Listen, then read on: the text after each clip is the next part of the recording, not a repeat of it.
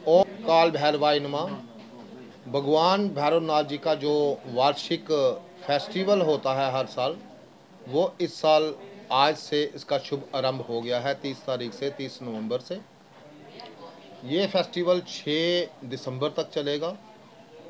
हर दिन यहाँ पे रंगारंग कोई ना कोई प्रोग्राम रहेगा, जैसे आज हमने पीरों फकीरों का भंडारा लगाना है। और जितने भी संगत है और बाज़ार में जितने भी भक्तजन हैं, वो सारा प्रसाद ग्रहण करेंगे।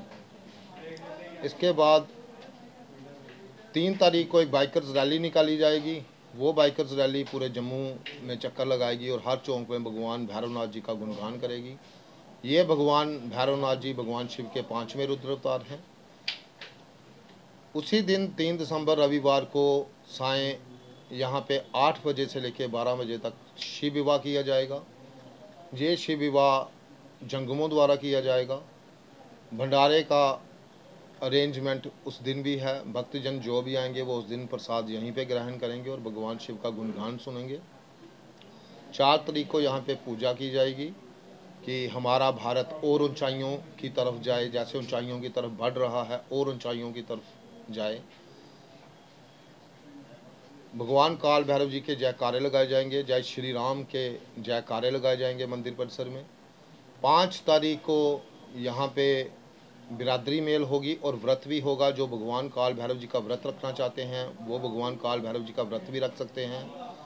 भगवान काल भैरव जी का व्रत वैसे ही रखा जाता है, जैसे भगवान शिव का व्रत हम रखते हैं। एक वक्त मीठा खाना होता है। छः तारीख को फिर एक भव्य भंडारा यहाँ पे लगाया जाएगा, जिसमें बावन से भी ज़्यादा स्टॉल्स होंगे और भक्तजन दूर दूर से उस दिन यहाँ पे पहुँचते हैं, मंदिर की डेकोरेशन देखने पहुँचते हैं। तो भगवान काल भैरव जी की कृपा पूरे भारत पर बनी रहे, भारत हमारा और ऊंचाइयों की तरफ़ जाए। ये मनोकामना लेके यहाँ पे पाँच तारीख को पूजा की जाएगी। अंत में यही कहूँगा कि भगवान काल भैरव जी पूरे भारत पर अपनी कृपा बनाएँ, हमारा देश और ऊंचाइयों की तरफ़ लेके जाएँ। एक ज़रूरी सूचना आपके माध्यम से देना चाहता हूँ कि चार, पाँच और छः को पूरा जम्मू अपने घर के बाहर, पूरा भारत अपने घर के बाहर, अपनी चौखट पे दो सरसों के तेल के दीपक प्रज्वलित करे, जिससे उनको काफ़ी फ़ायदा होगा और घर में कोई भी बाधा होगी, वो दूर होगी। ऐसी मान्यता है कि भगवान काल भैरव जी का फेरा उस दिन हर घर में होता है। जिन्होंने दीपक जगाकर उनको निमंत्रण देना होता है, वो निमंत्रण दे सकते हैं।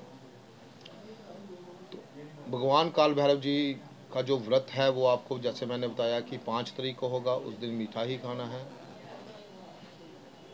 फूलों की सजावट एक तारीख से शुरू हो जाएगी, जो चार तारीख को कंप्लीट हो जाएगी डेकोरेशन सारी। और पूरे जम्मू से यही निवेदन है मेरा कि वो भगवान काल भैरव जी के मंदिर में आएँ, माथा टेकें, प्रसाद ग्रहण करें, पुण्य के भागी बने। साल में ये जो एक दिन आता है, इसका ज़रूर वो लाभ उठाएँ। जय काल परिसर में किसी भी तरह की कोई पर्ची नहीं कटती है तो किसी ने अगर कोई योगदान देना है, वो सामग्री के तौर पे दे सकता है, पर वो भी पूछ के। अगर हमारे पास नहीं होगी ज़रूरत तो वो फिर अगले साल में योगदान दे सकता है। तो ऐसे मंदिर में कोई पर्ची नहीं करती कोई वो नहीं। मंदिर का जो भंडारा है, वो भक्तजन जिनकी सुखने पूरी हुई होती हैं, वही भंडारे लगाते हैं। बैंड बाजे बजाते हैं यहाँ पे। जैसे पिछली बार जगराता एक भक्त ने करवाया था इस बार शिव विवाह हो रहा है तो भक्तजन ही सारे भगवान काल भैरव जी की जो सेवादार हैं, वो सारे मिलकर ये करते हैं और ये भव्य भंडारा यहाँ पे होता है।